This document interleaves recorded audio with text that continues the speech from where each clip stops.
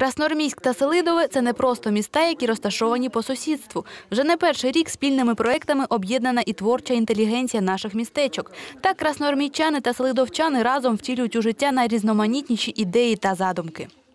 Красноармейских и селидовских поэтов э, связывают давние дружеские связи, и мы э, м, выпускаем коллективный сборник «Зоряна Криниця», э, в который входят и э, произведения и селидовских поэтов.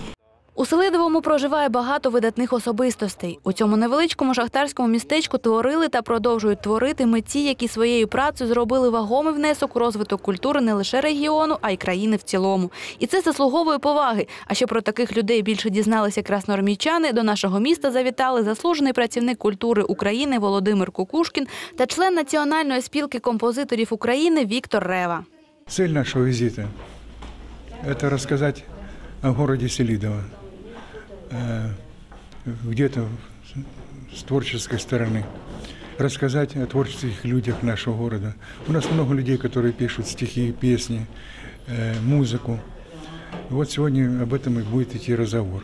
Два года назад мы здесь выступали в этом зале, и нас э, тепло здесь приняли, поэтому мы приехали с удовольствием поделиться своими, э, с- э, своими наработками, своим творчеством. Згадали під час зустрічі і тих людей, які вже пішли з життя. Так справжньою гордістю Селидового є поет та композитор Віталій Купрієнко. Він багато років був директором міської музичної школи, а також відомий як автор гімну Селидового. Вже 10 років минуло з дня його смерті, але мешканці міста його не забувають. Когда он умер, я написал следующие строки.